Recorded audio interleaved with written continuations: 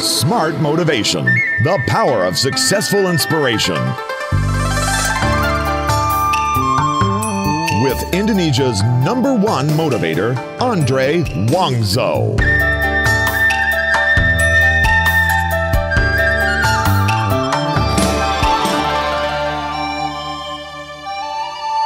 Suoci,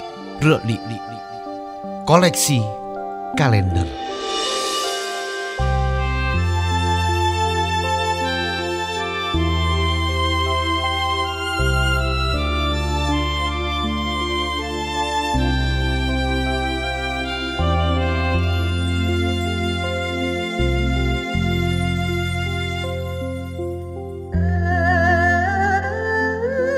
Dikisahkan ada seorang pemuda berusia menjelang 30 tahun. Tetapi memiliki kemampuan berpikir layaknya anak berusia di bawah 10 tahun. Sederhana dan apa adanya. Ibunya dengan penuh kasih memelihara dan mendidik anaknya agar kelak bisa hidup mandiri dengan baik. Lebih-lebih dengan kemampuan berpikir yang sangat minim Si anak sangat mencintai ibunya. Suatu hari, dia berkata, "Ibu, aku sangat senang melihat ibu tertawa. Wajah ibu begitu cantik dan bersinar. Bagaimana caranya agar aku bisa membuat ibu tertawa setiap hari?"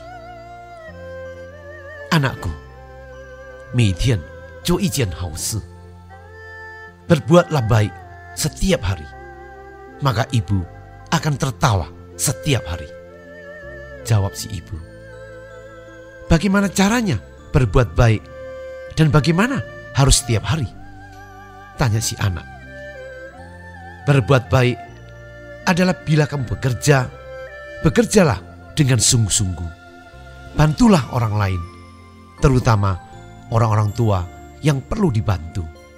Sakit atau kesepian kamu bisa sekedar menemaninya atau membantu meringankan pekerjaan mereka.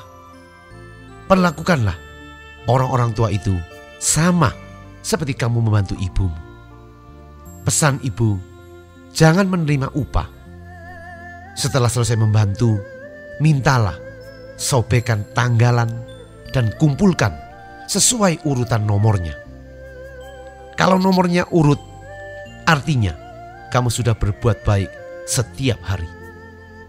Dengan begitu, ibu pun setiap hari pasti akan senang dan tertawa. Jawab si ibu sambil membelai sayang anak semata wayangnya itu.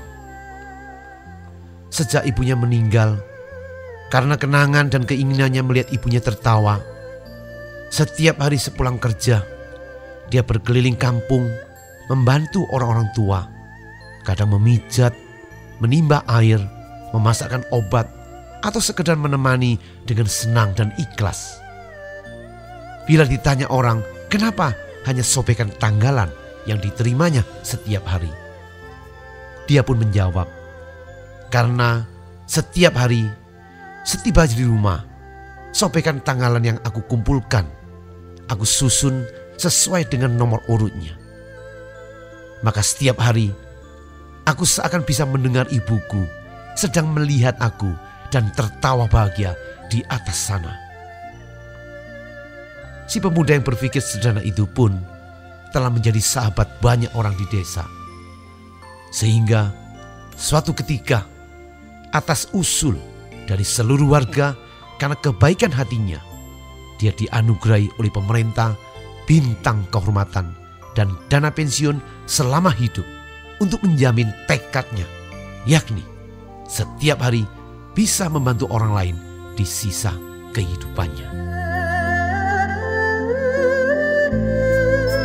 Smart listener, untuk kehidupan sekarang ini memang terasa sulit ditemukan.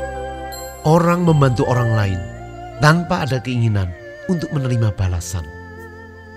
Namun, sebenarnya esensi kehidupan manusia adalah saling bantu-membantu, menolong dan ditolong. Malah sering kali bisa berbuat baik dan membantu orang lain sesuai dengan yang dibutuhkan akan terasa nikmat sekali.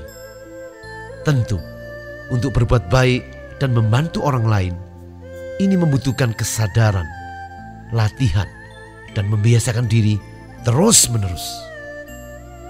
Mari kita praktekkan pepatah sederhana ini. Mitian, Zhou Ijian Hao Si. Tiap hari melakukan satu kebaikan. Demikian dari saya, Andri Wongso, Action and Wisdom, Motivation Training. Success is my right.